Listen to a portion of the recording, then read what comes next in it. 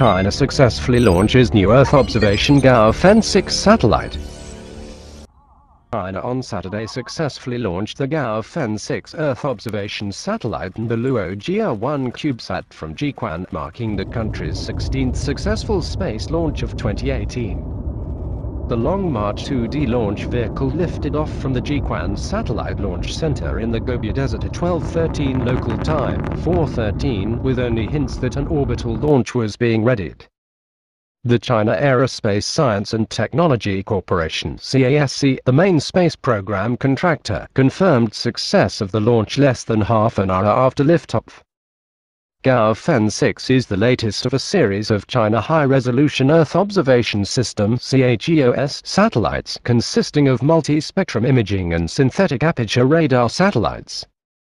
With a mass of 1,064 kilograms and with a designed life of 8 years, Gaofen 6 is similar to the Gaofen 1 satellite launched in 2013 but with upgraded capabilities equipped with 2-meter resolution panchromatic camera, an 8 meters multispectral imager and a 16 meters multispectral wide-angle color camera. Gaofen 6 can observe chlorophyll and other nutritional content of crops and help to estimate yields of crops such as corn, rice, soybeans, cotton and peanuts. Tong Xudong, chief engineer of the Gaofen series satellites, told state media.